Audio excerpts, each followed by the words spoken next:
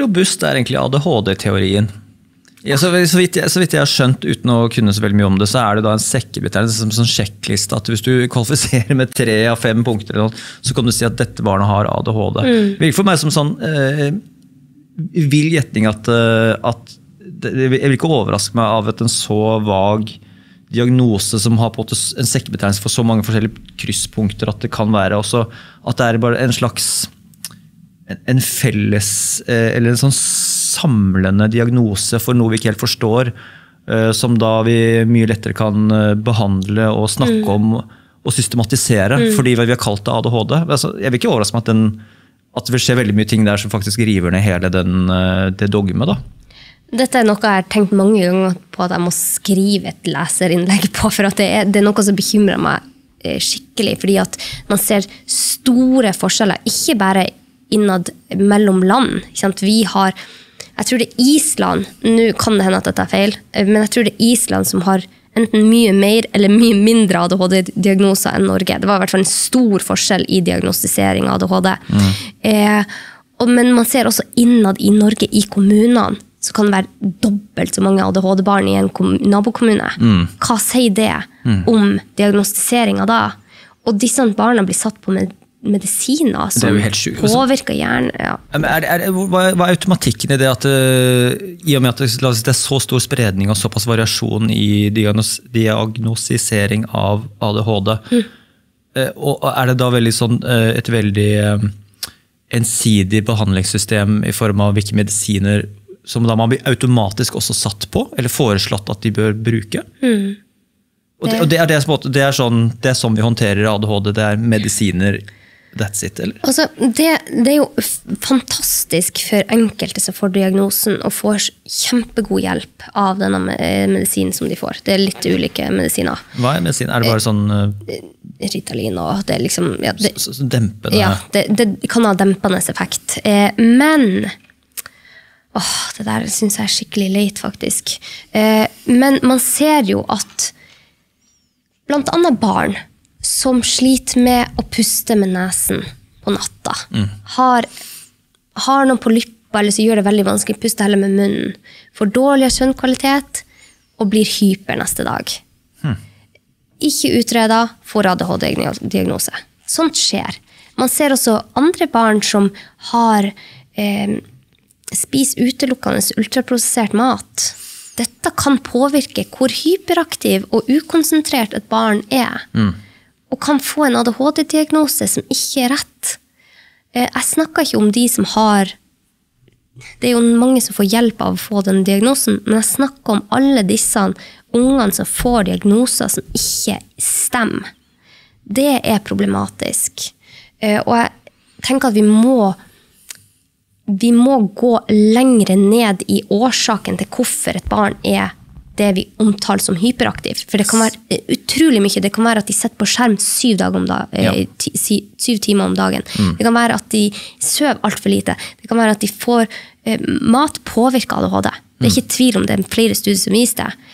Eh, det kan være at de har masse uro hjemme. Kanskje yes. de har to foreldre som sliter skikkelig i parforholdet, mm. og barnet blir utagerende. Det, det, er så utrolig mange grunner til at et barn kan bli urolig på skolen.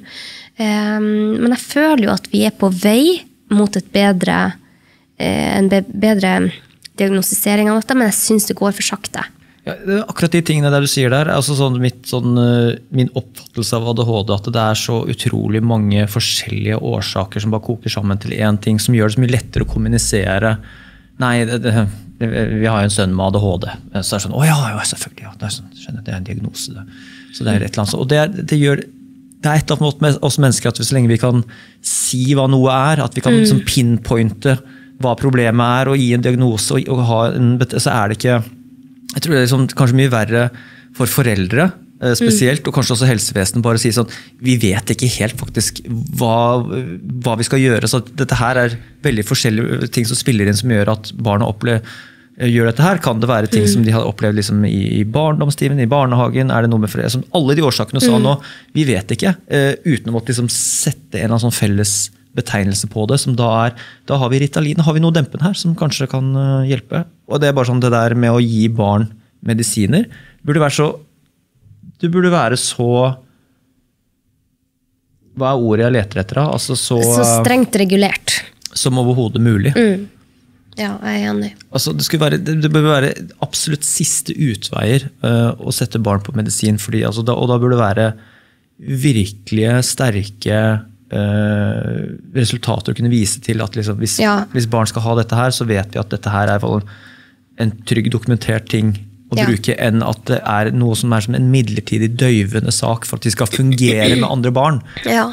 Men når det er sagt, så er det jo noen som virkelig har kjempe, kjempeeffekt av å få hjelp. Der de, har, der de har foreldre som har virkelig gått i dybden og ikke gitt seg, prøvd å finne ut er det andre årsaker bak. Det, det er de, jeg har sett de som har kjempe, får kjempestor hjelp av det. Men det er klart at det må bli mer eh, regulert. Du burde ha en Herman Egenberg inne. Han er en lege som har ADHD. Du må og lage har- sånn shoppingliste du, og, gå, og gått eh, ut av eh, slutta på medisiner, hvordan han har gjort det. Fordi det er utrolig mye som kan hjelpe. Og det, altså, det, dette jeg syns kanskje som er litt problematisk generelt, er at vi må gå til bunns i hvorfor man har en lidelse. Man må gå til, dypere til verks. Men vi leger og sykepleiere og alle vi som jobber i helsevesen, vi er satt i et system der du har kun 20 minutter på en pasient og har ikke tid til det. Det er systemet sin feil. Det er aldri legen eller de som jobber i systemet sin feil. Det er selve systemet som må endres på, sånn at man har muligheten til å faktisk jobbe med pasienten og finne årsakene bak på en god måte. Og Hvorfor kan vi ikke bare gjøre det, da? Ja, for at det koster penger. Det er mye dyrere for systemet. Systemet er jo lagt opp som en bilindustri, at du får så og så mye per diagnose, du får så og så mye penger per eh, kirurgisk eh, altså det, det, det er lagt opp sånn at du får betalt for hver ting du gjør. Det er jo helt feil. Det skal jo ikke være sånn at jeg skal få bedre betalt for at jeg fjerner noe som kanskje ikke trengs å fjernes. Så, så det, det, et, altså er det her, Snakker vi da på sykehusnivå eller privatpraktiserende? eller hele fjøla?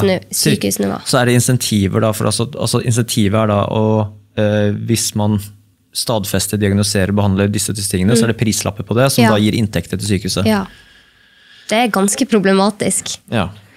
Nå, etter denne episoden så kommer jeg til å få så mange på nakken. Tror du det? Hvorfor det? Nei, for altså, Nå sier man jo Går jo litt imot hva veldig mange mener, men eh, Hva er alternativet, da? ja, vi må, jo, vi må jo snakke om det. Vi må snakke om hvordan det er lagt opp, og det er utrolig mange leger som er fortvila over dette. Dette er noe vi innad i legemiljøet snakker mye om. At systemet må endres. Man skal ikke få betalt for inngrep og diagnoser. Man skal ha tid med de pasientene man har, og bruke den tida man trenger. Det er jo helt horribelt sånn som det er nå. Og så driver de og kutter sykepleiere på Rikshospitalet som har syk, eh, sykepleiermangel. Kutter de stillinger? Er, det, det er helt sjukt. Det, man, man kan ikke tro at det skjer i Norge. Men det skjer nå. Vi kutter på stillinger for å spare penger. Fordi at man føler ikke at helsevesenet er effektivt nok. Men det er jo et, det er jo også et problem at flere og flere blir syke. Vi må heller se på det. Det vi gjør nå, Wolfgang, det er at vi det, det er som et stup. Ikke sant? Det kommer masse mennesker som hopper utfor stupet, og så plasserer vi masse ambulanser nede der eh, alle menneskene eh, havner fordi de går over stupet. Og så driver frakter de til sykehus mot å heller funne en sikring så ikke så mange mennesker havner utfor stupet. At så mange mennesker trenger helsehjelp. Det er der vi må se. Hvorfor er det sånn at i 1960 så brukte eh, USA 5% av BNP på helsevesenet mot mm, 17,9% i 2019? Hvorfor er det så mange flere som blir syke? Hvorfor er det så mange flere som trenger helsehjelp og utredninger og går med mange sykdommer? Hva er det som skjer i et samfunn når det har skjedd? Hva er det som skjer i et samfunn når så mange barn blir syke? Ikke bare ADHD, men tarmlidelser, allergier, mageplager. Hva er det som har skjedd når så mange av oss blir syke? Det er, jeg er skikkelig bekymra for dette. Altså, så, for å ta sykehusdelen først, da, så er det da når det først øh, sykdommen eller øh, lidelsen har inntruffet, så er det da et, For å ta det først, da. Det er jo hva, er Er det da et sluseproblem at, at det er for, for få på, på mottaker, eller på det første, for førsteleddssiden til Ja. å få få til å ta imot Ja. eh, pasientene, som da også i tillegg også har for liten tid med pasientene. Ja. Der er, det er første problemet. Mm. Også, og da er det, er det da i andre, og tredje og fjerde rekke at det er folk som går for mye arbeidsledige, som sykehusene tenker til at det her er ikke noe vits at vi har fire sykepleiere som går og driver dank. Nei, det skjer jo nesten aldri. Det er nesten ingen sykepleiere som driver dank i Norges helsevesen. Nei. Det handler om at sykehuset ikke har fått inn nok penger fra staten, og derfor må de spare inn. Og så tenker de mm, vi sparer inn, vi tar to leger fra den avdelinga, sparker de, fire sykepleiere der, og så må de bare jobbe enda mer effektivt. Ikke sant? For det, det- og det er, altså da fra, skal vi se, fra myndighetens perspektiv da, så må det være en eller annen stressfaktor. at Vi kan ikke bare pøse på med uendelig med penger til sykehuset, for da eser sannsynligvis administrasjonen ut. Ja, men det er det Og det, og det er det sannsynligvis det gjør uansett. Da. Det er, administrasjons, er det administrasjonsleddet som er liksom den stille, uh, mørke, stygge ulven her, at uh, sykehusadministrasjonen eser ut som alle andre byråkratier i Norge? Altså, det er litt sånn som vi snakka om i stad, at for å kunne ta stilling til noe, så bør de ha jobba i systemet først. Praktikere. Vi trenger Ja. ikke bare Vi trenger de som har vært på gulvet.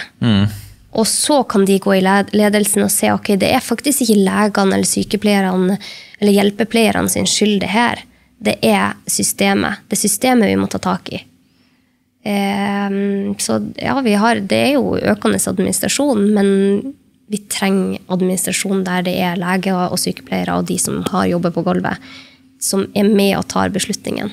Sånn som det som skjer, at de legger ned Ullevål nå. Det er ingen, Jeg har ikke møtt én person som jobber i helsevesenet som er for det. Nei. Ikke én. Ikke Og det skjer for det.